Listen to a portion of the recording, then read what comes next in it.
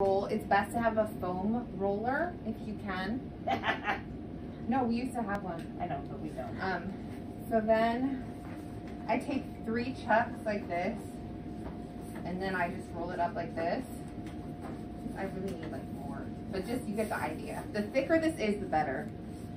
And just tape it, tape it.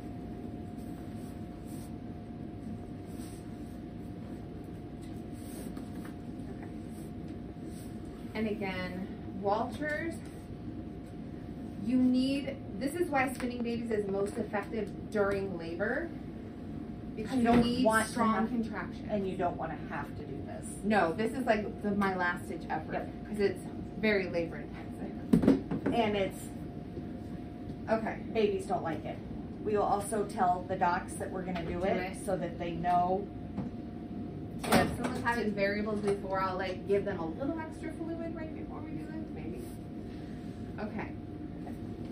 So again, I bring Jessica. Can you help again? I'll ah, Tap a friend, and usually I ask always another nurse because of like I really want to prevent injury. So okay, so if she's first things first, I explain to her what we're doing. You're going to be almost on your head. Like sometimes we can even do of down belly. So we'll do that. Okay, there we go. Okay.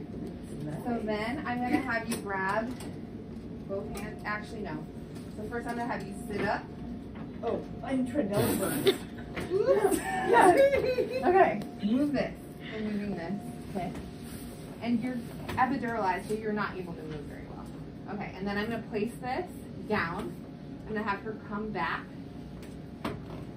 And then I'm gonna have her shift so that I I feel her hip bones where they are, and I want the roll right underneath her hip bones. So I'll feel.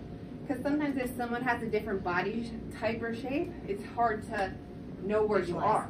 So you have to feel. Okay. The foam rolls in here. I like it even thicker, like this thick, if I can. Then, um, I take off the bottom of the bed, feet up like this.